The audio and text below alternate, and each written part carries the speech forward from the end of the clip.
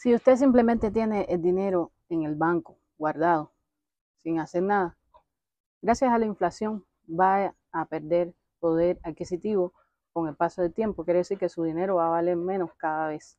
Entonces, para eso es que las personas invierten en bolsa de valores para eh, luchar contra esa inflación, para que ese dinero esté protegido y no pierda valor, más bien se mantenga o incluso aumente.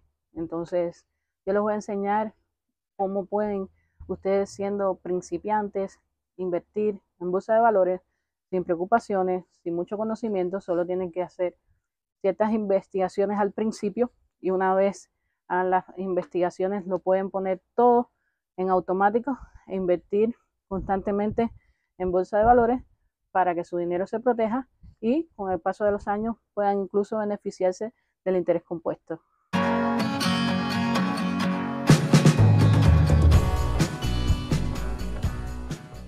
Los fondos indexados son una forma de inversión que sigue de cerca el rendimiento de un índice específico del mercado financiero. Un índice bursátil es una colección de acciones que representan una parte del mercado, como el SP500, que incluye las 500 empresas más grandes de Estados Unidos, o el índice MSCI World, que incluye empresas de todo el mundo. Los fondos indexados tratan de replicar el rendimiento de estos índices, invirtiendo en las mismas acciones, en las mismas proporciones. Ahora, ¿qué es un fondo indexado? Un fondo indexado es un tipo de fondo de inversión pasiva, a diferencia de los fondos gestionados activamente que emplean gestores para seleccionar acciones con el objetivo de superar el mercado, los fondos indexados simplemente imitan la composición del índice al que están siguiendo. Esta estrategia pasiva reduce significativamente los costos de gestión y a menudo resulta en comisiones más bajas para los inversores. Ventajas de los fondos indexados. Número uno, la diversificación. Al invertir en un fondo indexado, los inversores adquieren una pequeña porción de todas las empresas que componen el índice. Esto diversifica automáticamente su cartera, reduciendo el riesgo de tener una gran parte de su inversión en una sola empresa o sector. Número dos, bajos costos. Los fondos indexados tienen gastos de gestión mucho más bajos que los fondos gestionados activamente, ya que no requieren gestores de inversiones que tomen decisiones activas. Estos menores costos pueden resultar en mayores retornos netos a lo largo del tiempo. Número 3. Rendimiento competitivo. Históricamente, muchos fondos gestionados activamente no han logrado superar consistentemente a los índices de mercado después de tener en cuenta sus costos. Los fondos indexados a replicar el mercado suelen proporcionar un rendimiento que iguala el índice menos los costos mínimos lo cual ha demostrado ser una estrategia efectiva a largo plazo. Número cuatro, simplicidad y transparencia. Los fondos indexados son fáciles de entender y gestionar. Los inversores saben exactamente en qué están invirtiendo, ya que la composición del índice es pública. Número cinco, eficiencia fiscal. Debido a la menor rotación de activos dentro del fondo, los fondos indexados tienden a ser más eficientes en términos fiscales en comparación con los fondos gestionados activamente. Esto significa que pueden generar menos impuestos sobre la ganancia de capital para los inversores. ¿Por qué son ideales para principiantes? Número uno, por su facilidad de uso. Los fondos indexados requieren poco conocimiento financiero para empezar.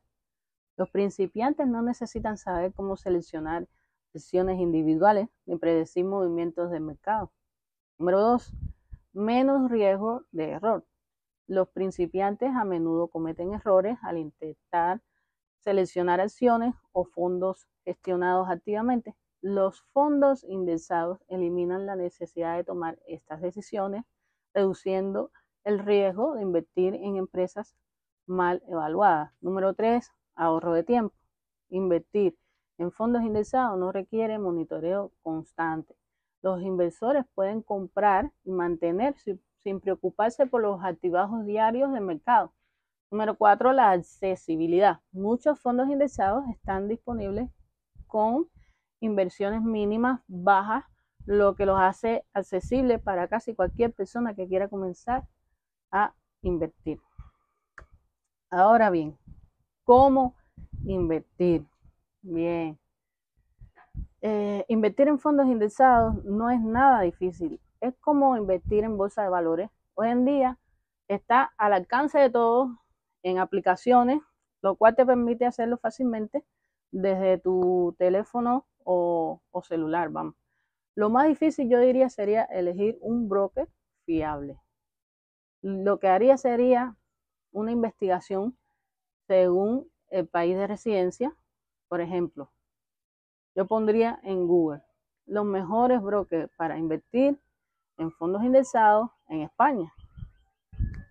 Enseguida encontrarás comparativas, entonces debes fijarte principalmente en la seguridad que te ofrece, los reviews que tiene, las comisiones, el depósito mínimo y también debes fijarte en la facilidad y requisitos para abrir la cuenta. Una vez investigues y eliges y determines en qué broker vas a invertir, coge, te registras, sigue los pasos, las verificaciones, etcétera. Entonces quiero advertirle que yo no soy experta en el tema, pero sí he logrado tener buenos resultados invirtiendo. Desde mi experiencia, los brokers que he utilizado para invertir en Estados Unidos que no cobran comisiones y que no me han dado problemas son Fidelity, Robinhood y uno que se llama M1 Finance, M1 Finance. Les voy a dejar los links en la descripción por si deciden investigar sobre ellos. Luego toca investigar los diferentes fondos indexados que existen, como pueden ser fondos indexados a acciones que siguen un índice de acciones, como puede ser el SP500 que les decía al principio del video, o los fondos indexados a bonos que siguen un índice de bonos y tienen menos riesgo, fondos indexados sectoriales que siguen un sector específico como puede ser tecnología o salud, o fondos indexados globales o internacionales que siguen índices fuera de tu país de origen. Una vez hayas hecho tu investigación y seguimiento eh, a las recomendaciones de los expertos, elige los que más te llamen la atención, lo buscas en el buscador del broker que hayas elegido. Una vez tengas tu cuenta y comienzas a invertir. A continuación, te voy a explicar la mejor estrategia para principiantes que si la sigues correctamente, no perderás dinero. Además, se puede hacer de forma automatizada, como les decía, de manera que sea fácil cumplir ¿eh? disciplinadamente y sin tener que pensar mucho. La estrategia de dólar cost average, que es muy famosa, DCA o DCA, conocida en español como promediación del costo en dólares, es una técnica de inversión que implica invertir en una, una, cantidad fija de dinero en un activo financiero, como puede ser acciones, fondos indexados, etcétera, de manera regular, independientemente del precio del activo en ese momento. Aquí te explico cómo funciona y cómo puedes implementarla. Entonces, ¿cómo sería el funcionamiento de la estrategia de DCA? Número uno, inversión regular. Decides una cantidad fija de dinero que invertirás en intervalos regulares, por ejemplo, mensual o trimestral. Entonces, constancia en el tiempo. Realizas la inversión en intervalos establecidos sin intentar adivinar el mejor momento para invertir. Esto significa invertir tanto en mercados alcistas como bajistas. Después, compra de activos. Con cada inversión regular, compras más unidades del activo cuando los precios son bajos y menos unidades cuando los precios son altos. Beneficios del DCA, reducción del riesgo al invertir regularmente, reduces el impacto de la volatilidad del mercado, evitando la necesidad de adivinar el mejor momento para invertir. Disciplina financiera, promueve una disciplina de ahorro e inversión constante. Simplificación, Es una estrategia sencilla de entender y ejecutar, ideal para principiantes. Un ejemplo práctico. Supongamos que decides invertir 200 dólares cada mes en un fondo indexado. Aquí tienes un ejemplo de cómo podría funcionar esta estrategia en cuatro meses. En mes número uno, el precio del fondo es 50 dólares por unidad. Inviertes 200 dólares, entonces lo que te alcanza para comprar cuatro unidades. En el mes 2, el precio del fondo baja a 40. Inviertes 200 y puedes comprar 5 unidades. En mes 3, el precio del fondo sube a 60. Inviertes 200 y compras aproximadamente 3.33 unidades. En mes 4, el precio del fondo es a 55 inviertes 200 y compras aproximadamente 3.64 unidades. En total, habrás invertido 800 y comprado aproximadamente 15.97 unidades del fondo. El costo promedio por unidad será más bajo que el precio de compra en muchos de los meses, suavizando el efecto de las fluctuaciones del mercado. Por eso decía que no te tienes que preocupar si está alto o bajo, compra, compra, compra. Esta estrategia lo que te permite es promediar el precio al comprar en precio alto en ocasiones y bajo en otras, sin tener que estar siguiendo o cronometrando el mercado para esperar el mejor momento y evitar que el factor psicológico afecte tus emociones mientras inviertes.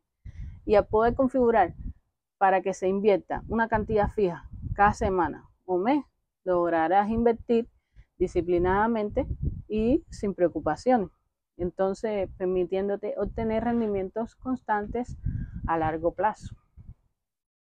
Bueno, hasta aquí el video del día de hoy. De verdad que espero que, que te sea útil, te haya gustado. Si es así, por favor, dale like, comparte y considera suscribirte al canal si quieres seguir aprendiendo sobre real estate y finanzas.